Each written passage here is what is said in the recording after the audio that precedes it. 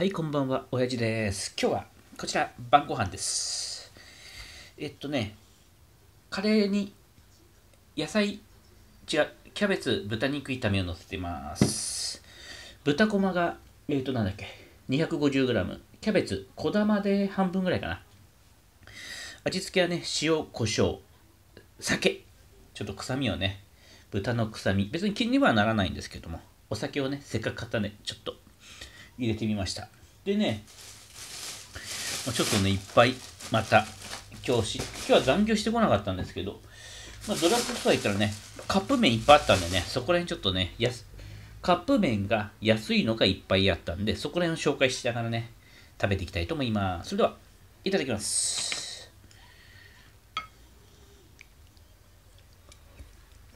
カレーはね、いつもの安いカリヤカリ。昔はね62円ぐらいで買えたんですけど最近はちょっとね値段も上がっちゃって。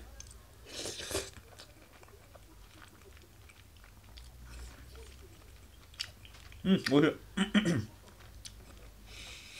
特に今日は普通のスーパーで買ったんで。100円でした。でも安いね。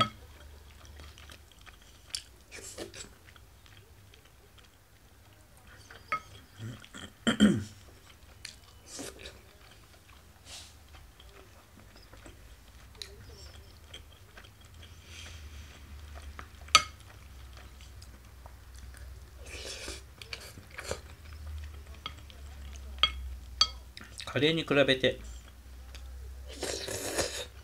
お肉お野菜が多いんでね。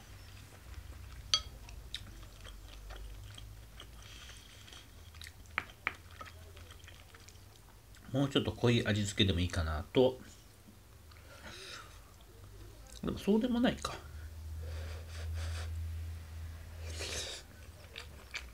うん赤い乾杯。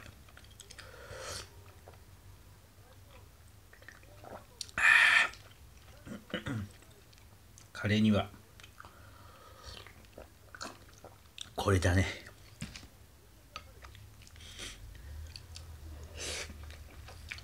うん。でちょっと紹介していこうか。まずはねこちら。カントリーマーム210歳になったかな。えっとね会社のねおばおばちゃんで、まあ、仲良くしてるおばちゃんいるんですけども月曜日今度の月曜日でねちょっとやめちゃうんで選別じゃないですけど買ってきました。あとはねブランチュール。えっとね版が違うんですけどまた割とね仲良くしてるおばちゃんやめちゃうんで。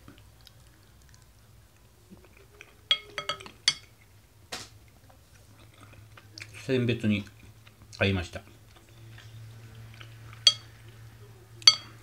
っぱりね出会いもあれば別れがあるわけで。まあ寂しいっちゃ寂しいですけど。うん。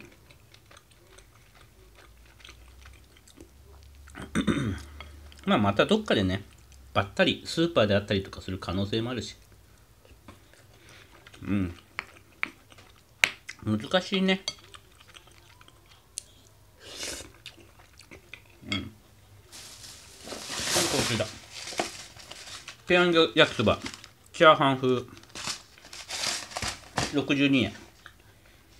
150円ぐらいで売ってたの。138円かな。うん。売ってたんですけど。もう多分賞味期限は。でも9月20日か。もう切り替えの時期なんでしょうね。半額半額っていうかまあ60税込みね。税込み62円だったんで買ってきました。でこちら。以前ね食べました。マイクポップコーン。バター醤油。こちらねまあリピートはどうしようかなっていう感じだったんですけど今回またね半額というのか、えー、84円になったんで2つ購入してきました。そしてねこちらがねやみつき馬からのね辛黒富山ブラック風焼きそばまるちゃんのこちらが62円です。赤黒もあったんですけど赤黒じゃないな辛赤か。赤からかな？どっちかわかんないです、あったんですけど、こっちの黒の方がね、ブラックペッパーで美味しそうだったんで買いました。62円です。カレー美味しいなうん。カレーってほんと食欲をそそる。これはね、玉ねぎが入ってないタイプなんで、食べれます。まあ実際はね、オニオンパウダーだとだとか、玉ねぎが全く入ってないってわけではないんですけど、まず形が見えない。これが一番重要で。味なんかはね、玉ねぎの甘い味嫌いじゃないんで問題ないです。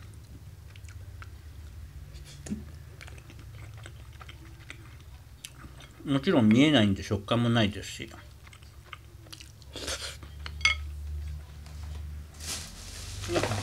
次こちら。どん兵衛の焼き担々うどん。前からちょっと気になってたんですけど62円こちらも。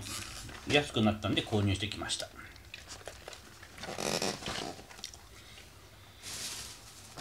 でこちらカルビーのね、ポテトチップス、コンソメパンチが25%増量。こちらが62円だったんで買ってきました。そしてあとはこちら。えっと、小池屋のカラムーチョ。この間ね、久しぶりに買ったらね、美味しかった。あのー、ポテトチップスみたいに和のタイプじゃなくて、こういうね、なんていうのかな。こういう切り方のやつ、3割引き、170円の3割引きだったんで、安かったんで買ってきました。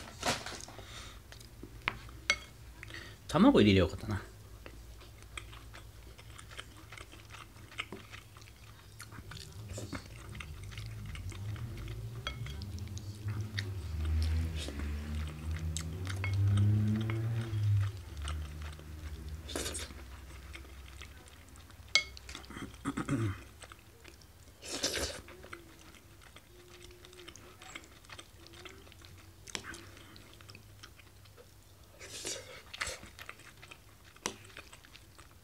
美味しいな。うんあこ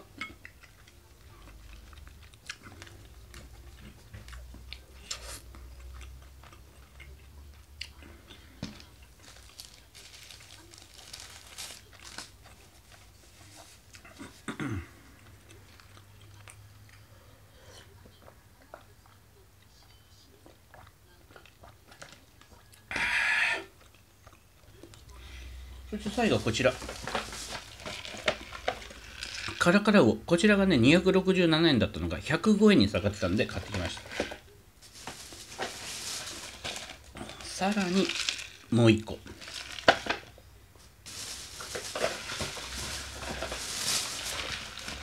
さらにもう一個とね、3つ買ってきました。もうないかな。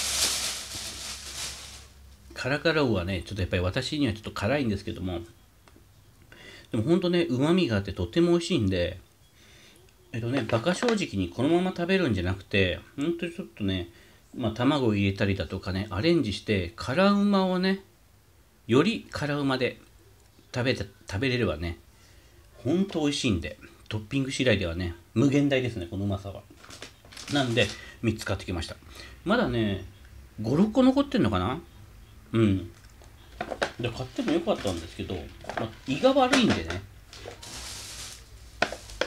たまに入れようかなと思ってこのカラカラウオはいいいつまでなんだろう、うん、でも9月9日まであるんでのんびり食べていきたいなとは思っております。うん。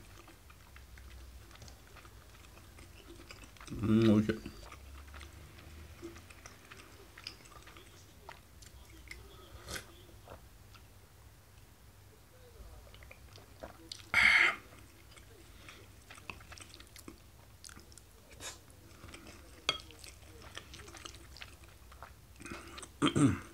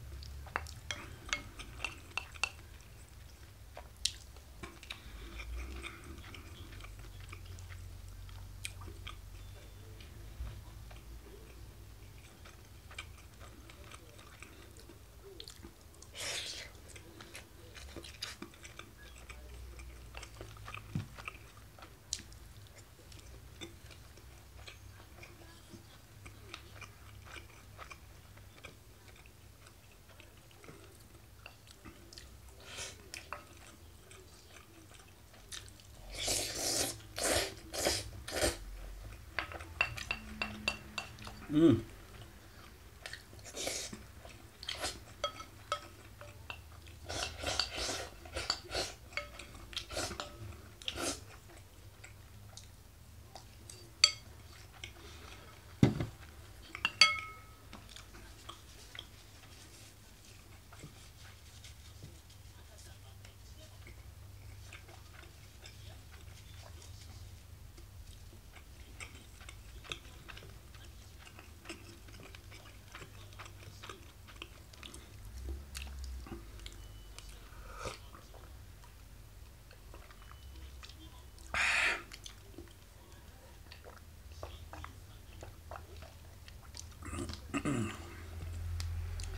はい、ということでごちそうさまでした。今日はね、えー、まあ、焼肉カレーとでも言うんでしょうかね。